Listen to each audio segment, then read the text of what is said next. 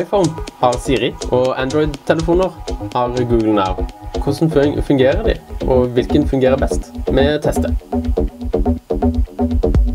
Hvordan blir været i morgen? Værvarsel for Oslo i morgen. Minus tre grader og delvis skyet. grader. Hvor gammel er kong Harald? 79 år, 21. februar dette på nettet om 1937. gammel er kongen Harald.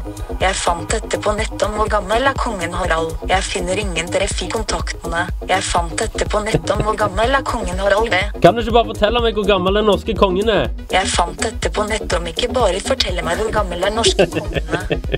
Tell ned ti minutter. Klar, ferdig, gå. Ja, Google.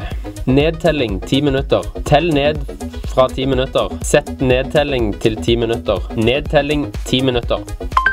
Showing pictures that match. Countdown 10 minutes. Ok, 10 minutes. Starting. Ok, så på engelsk så er det greit. Send melding til Ole Petter Baugerød Stokke. Hei, fint kamera du har. Her er meldingen. Er du klar til å sende? Sorry, who do you want to text? Send. Da sender jeg den. Send melding til Ole Petter Baugerød Stokke. Send me link to the Potomac River. Send melding til Ole Petter Baugerød Stokke. Hei! Fint kamera du har. Send. Nei, det må vi ta manuelt. Sånn er det. Spill musikk.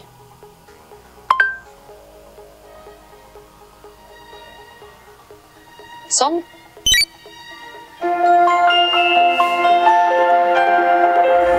Ring Ole Petter Baugerød Stokke.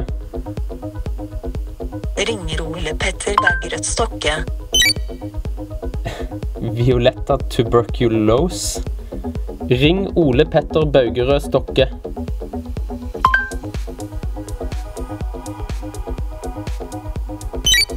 Ja, takk til deg, Android.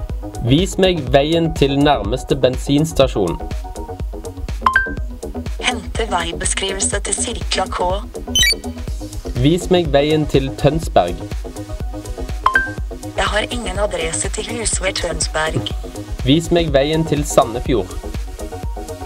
Hente veibeskrivelse til Sandefjord. Vis meg veien Norea var det første resultatet som kom opp her. Jeg vet ikke hva det er. Det var, det var iallfall ikke kart, kan vi vel slå fast. Det var en sommerfugl. Hva er 296 ganger 244? Det er 72 Sorry, could you repeat that? Hva er 296 ganger 244? Ja, de kom fram til det samme iallfall.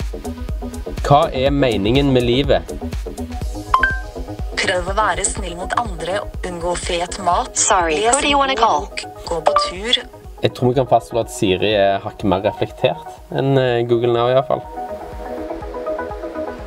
Skal vi se på det lyset òg, altså?